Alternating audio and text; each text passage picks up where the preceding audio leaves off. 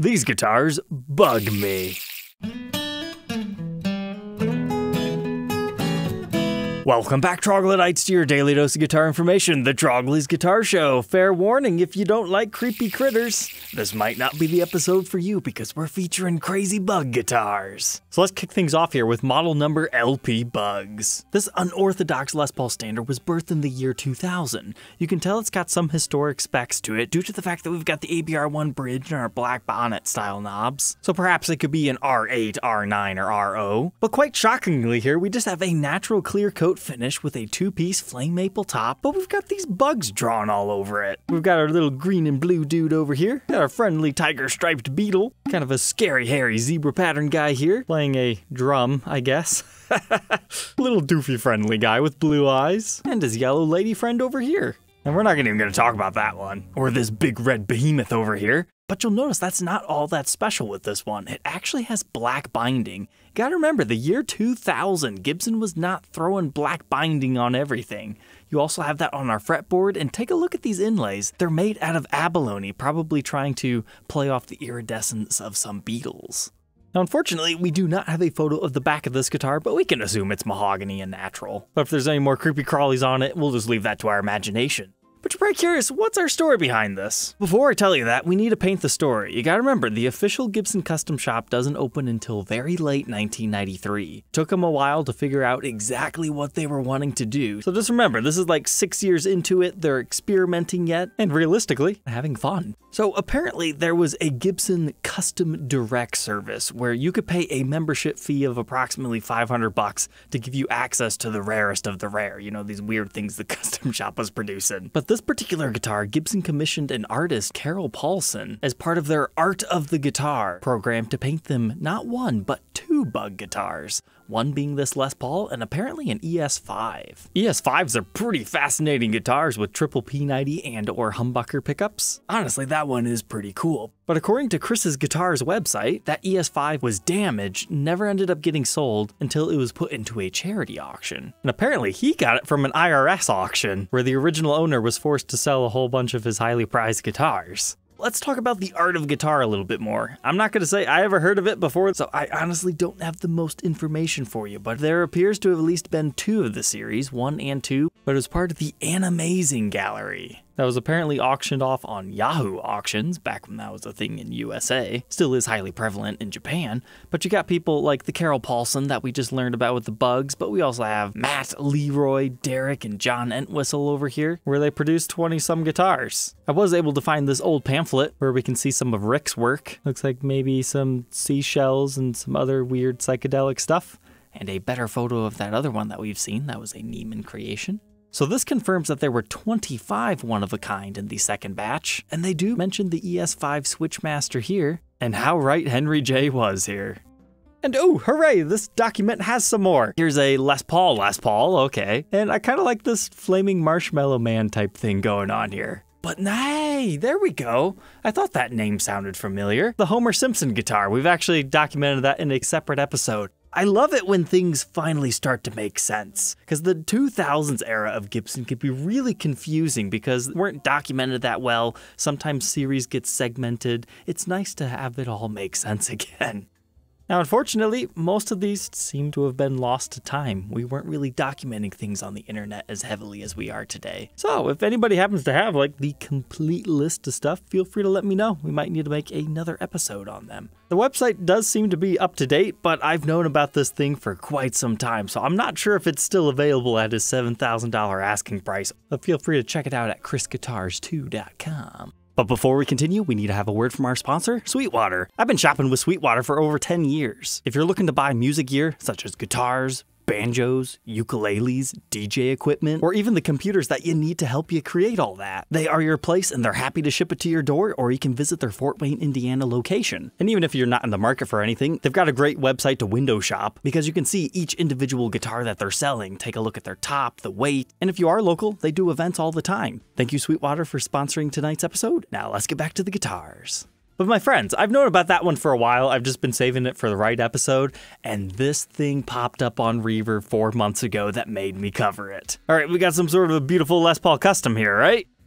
Nope, it's another Bugs model, but this time it's an SG Custom, and I think it looks way better than the Les Paul. Something about maybe the mahogany color of the wood grain versus the maple kind of works well because, you know, normally you associate big creepy crawlies climbing on a tree or something, and that's what this more so looks like. But you've got this like stick bug over here playing double bass, I guess, that's just tiny. He's got some maracas over here in his hand. That's just silly. What does this guy got? A little keyboard? I've never noticed that before today. But you've got a clear pick guard over top of it. You've got the triple humbuckers, all the normal blingage that these reissue SGs normally have. But then when we flip over to the backside, we've got a really cool praying mantis with colorful wings playing the bongos. But what was really fascinating to me is the fact that we have a little bit of white right here. SG Customs, normally when you see them out in the wild, they're white. But the whole sprayed neck and heel aspect of this one's very fascinating. There we go, three creepy crawly guitars, but since we've got some time left tonight, let's talk about some other bug guitars. We've talked about these on the show before, but it is a classic from 2009, the original Black Widow Les Paul. Apparently, Kansas City Vintage had number one of the 25 made. I'm not sure how long ago they had this thing, but I would like to add one of these to my collection. I regret selling the one I did. We've seen number one and number 25 now show up. It was kind of a whole dilemma because after I made the video saying that it was stolen, a viewer of the show was actually the one who won the eBay auction previously, so he reached out to the person that it rightfully belonged to, and in a roundabout way, I think the guitar got back to him. So there was a happy ending to that story. But anyways, this one doesn't have a big creepy spider on the top of it, it just has the red vibes everywhere. Very spooky headstock. And then what we're really looking for here are Black Widow Spider on a Stinger. Super cool guitars. They might look like a Les Paul Custom, but technically more like an R7 because they do not have the binding on the back. But yet they still have all the other custom appointments like mother of pearl block inlays with ebony fretboards. If you're talking creepy crawlies, you can't forget about the Les Paul Centipede. They utilize a blue burst finish with yellowed binding, all gold hardware, but use a red lacquer over top of the headstock, and give you this little friendly guy on the back, so you understand why the colors are the way they are. This is one of those models, I did not like it when it first came out, but it kind of grows on you with time.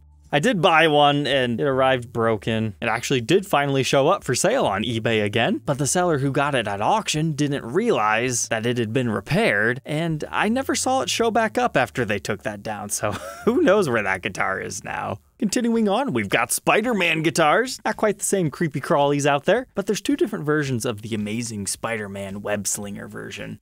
So you got the one that's signed by John, and then the other half were signed by Stan Lee. So technically, there's two you want in your collection if you're a Spider Man fan. You get your spider knobs. It's just a, a screwed on graphic. Honestly, I'm not a big fan of these. But they do have the interesting inlay on their fretboard over here. And if these three aren't enough spiders for you, there's another one on the headstock.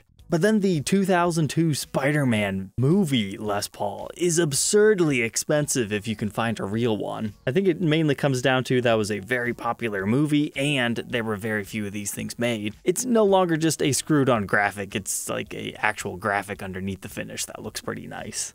But if that's not enough for you, we have documented a Fender Mustang Spider Man guitar. I've got to tell you, I really love that thing. And I'm usually more of a Gibson guy. I think this pulls off the vibes way better because it's got the blending of the elements of the competition stripe as one of the web slingers. And your web shot here is the metallic paint. You've got your spider over here, you've got a little spidey there, and then you've got your web. You've got the continuation of that on the headstock. Your Mustangs are going fast. This is one of those cooler made in Japan exclusive guitars. Unfortunately, nothing too much fun on the back, but you do have your Spider Sense logo. Thankfully, these are photos that I took, so that means there's a whole video that you can watch of that thing if you want to. But if you need even more legit spiders in your life, what about this NAMM display piece from 2020? It's one of the very early Rick Heinrichsen creations as the master carver for Gibson. So it had spiderweb soundhole design with a completely open back that scared a lot of people that it would just break or something, but according to him, it was very secure. But then there is a heel cap carving of a woodlouse spider.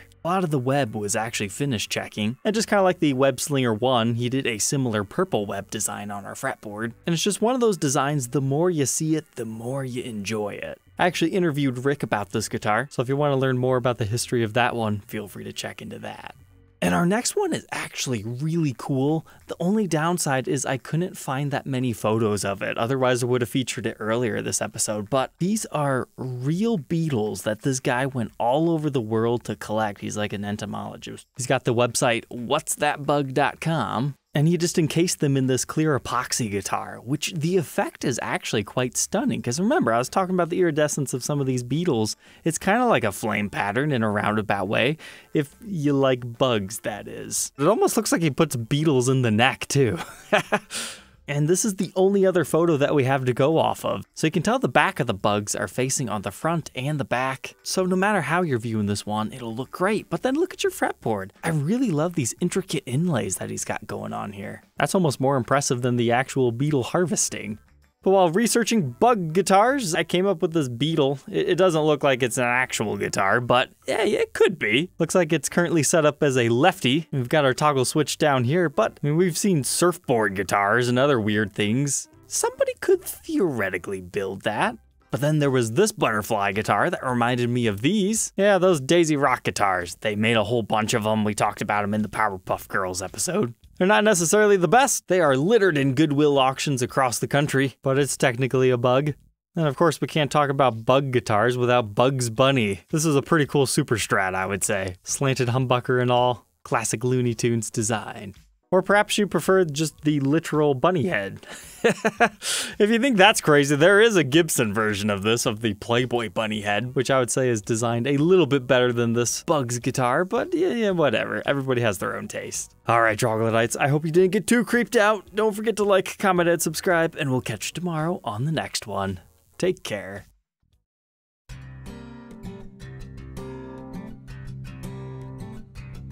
If you enjoyed tonight's episode, consider subscribing. I post videos like this every day. And you might even enjoy this next one.